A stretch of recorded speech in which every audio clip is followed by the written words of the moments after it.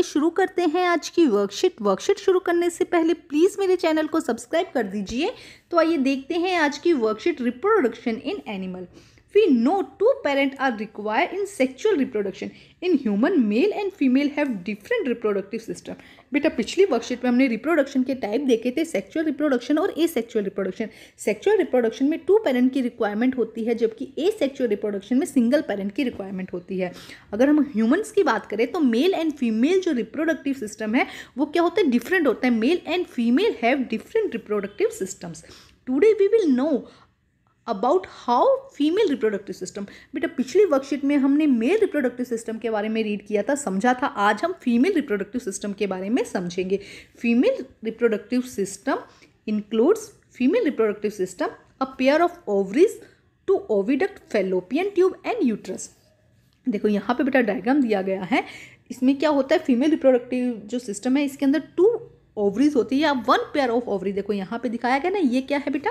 Ovary से हम क्या कहेंगे? ओवरी तो वन पेयर ऑफ़ ओवरीज एक पेयर एक जोड़ा ओवरी का होता है, इसके बाद इसी से अटैच देखो यहाँ से दिखाई दे रही है पाइप लाइक स्ट्रक्चर जिसे हम क्या कहते हैं, जिसे कहा जाता है ओविडक्ट तो टू ओविडक्ट दोनों की तरफ़ से होगी ना तो टू ओविडक्ट या इसे क्या कहा जाता है? फेलोपियन ट्यूब इसे क्या कहा जाता है? फेलोपियन ट्यूब देखो ये है ओवरी ओवरी से अटैच क्या होती है? फेलोपियन ट्यूब्स ठीक है?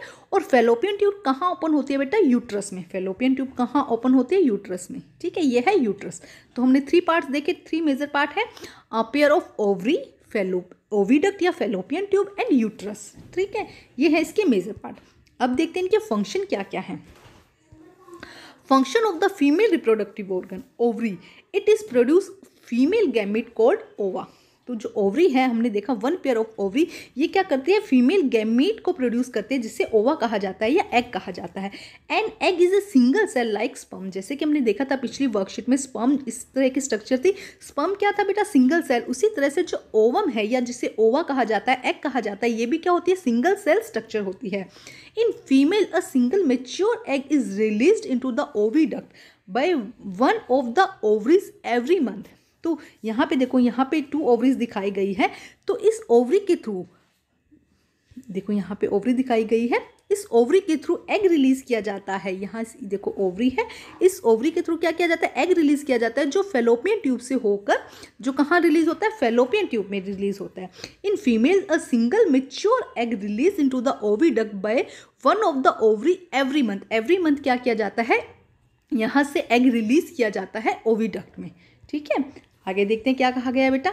नेक्स्ट है फेल ओविडक्ट या fallopian tube oviduct is also called fallopian tube अभी मैंने बताया ओविडक्ट को क्या कहा जाता है। फेलोपियन ट्यूब भी कहा जाता है। It act as a passage for egg to reach the uterus तो ये कैसा काम करता है? पैसेज का काम करता है। एक बीच के रस्ते का काम करता है। जो एग को कहाँ पहुँचाने का काम करता है? यूट्रस में। जो कहाँ काम करता है एग को पहुँचाने का काम यूट्रस में करता है। Here the fertilization of the sperm and egg take place और it is the site of the fertilization तो यहाँ पे बेटा जो एग और स्पम का फर्टिलाइजेशन होता है, जो एग और स्पम का बेटा फर्टिलाइजेशन होता है, वो ओविडक्ट में होता है। यहाँ से एग रिलीज़ किया जाता है और यहाँ पे स्पम आता है। एग और स्पम का जो फर्टिलाइजेशन है, वो ओविडक्ट में होता है। नेक्स्ट देखते हैं क्या कहा जाता है। नेक्स्ट है यूट्रस देखो नेक्स्ट क्या है? Uterus it is the part where the development of the embryo into a new individual take place तो यूट्रस क्या है? एक ऐसा पार्ट है बॉडी का जहाँ पे क्या किया जाता है? इंडिविजुअल जो एम्ब्रो है उसका क्या किया जाता है? डेवलपमेंट होता है। तो यूट्रस जो ये वाला पार्ट है बेटा, यहाँ पे जो एम्ब्रो है, उसका डेवलपमेंट किया जाता है। या डेवलपमेंट होता है। It is a part where development of the embryo into new individual take place ठीक है? अब हम करते हैं इसके क्वेश्चन आंसर बच्चे। क्या क्वेश्चन आंसर है? आइए देखते हैं। Question number one draw a well label diagram in the female reproductive system female reproductive system का डायग्राम बनाना है तो बहुत अच्छे से आपकी वर्कशीट में दिया गया है तो ये हो जाएगा आंसर नंबर वन बहुत सुंदर और अच्छा डायग्राम बनाइएगा बच्चे। Question number two name the female reproductive organs तो नेम बताइए, यहाँ से आ जाएगा बेटा। देखो answer number two female reproductive system a pair of ovaries two oviduct and uterus first second third इस तरह से आप बना दीजिएगा इसको। अब करते हैं next question question number three. What is एक second question number three. What we call female gamete where it is produce तो फीमेल गैमिट को क्या कहा गया था? ओवा एंड कहाँ प्रोड्यूस होता है बेटा? ओवरी में।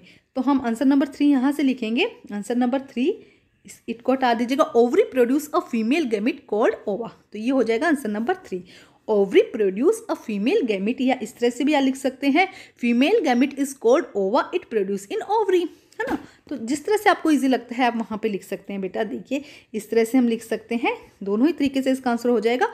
Female gamete is called female gamete is called ova and it is produce in ovary तो दोनों का ही सेम आंसर है। Female gamete is called ova it is produce in ovary next question देखिए।